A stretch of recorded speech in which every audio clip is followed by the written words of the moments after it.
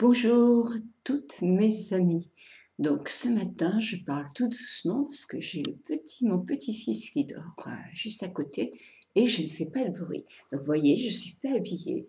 Je vous avais promis de vous montrer mon maquillage euh, dans les, euh, dans les, comment s'appelle, dans les corails, corail marron et voilà. Donc je me suis amusée à regarder la vidéo de Dina qui est pour moi l'une des qui réalise pour moi les plus beaux maquillages pour les jeunes femmes. Et euh, j'ai essayé d'adapter le corail à euh, une femme bah, de mon âge ou un petit peu plus jeune. Donc pour ce faire, j'ai appliqué euh, sur ma crème teintée du rouge à lèvres corail sur les joues. Puis j'ai, avec un pinceau, puis j'en ai mis sur euh, ma paupière et j'ai poudré tout, ce, maquillage gras. J'ai mis la même chose sur mes lèvres, évidemment, et très peu. Je l'ai mis au doigt, puisque le couleur était quand même un petit peu plus foncé. J'ai mis un brillant dessus, puisque vous savez, mon problème avec les rouges à lèvres foncés, et aussi parce que je me maquille toujours beaucoup plus les yeux donc il faut toujours privilégier ou l'un ou l'autre. Sur les paupières, j'ai joué avec un coloris euh, de base, clair, non nacré, clair. J'ai rajouté à l'angle interne. J'ai mis un petit peu de, de, de, fard euh, dans les euh, taupes moirées très très claires et j'ai mis là juste une touche de corail sur la paupière mobile.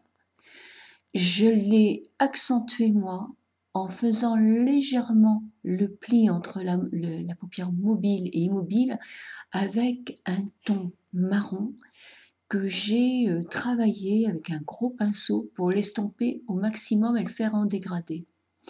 Dina fait toujours, euh, diva, oh, je redirai le nom de, cette jeune fille qui fait des maquillages magnifiques, c'est une Canadienne.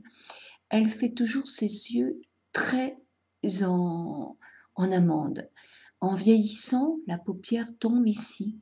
Donc l'œil en amande ferait que là, ça serait trop maquillé. Donc ça ferait l'œil triste.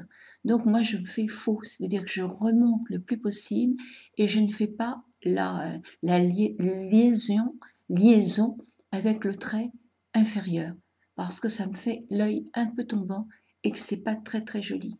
Bon, j'ai mis un coup de crayon sur la lisière de mes cils pour les faire paraître plus importants et puis parce que la couleur quand elle est rosée ou euh, abricot ou corail euh, moi j'ai l'impression que ça fait un peu les yeux qui ont un peu pleuré.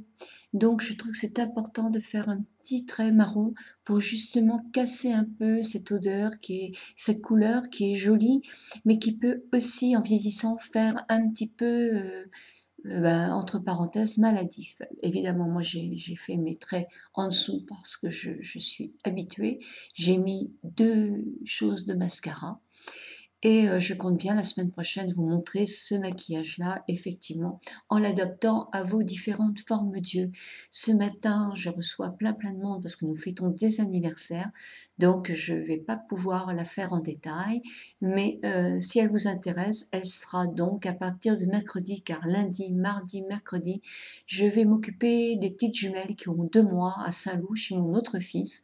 Donc, euh, je vous ferai peut-être un petit coucou, mais je n'aurai certainement pas beaucoup de temps.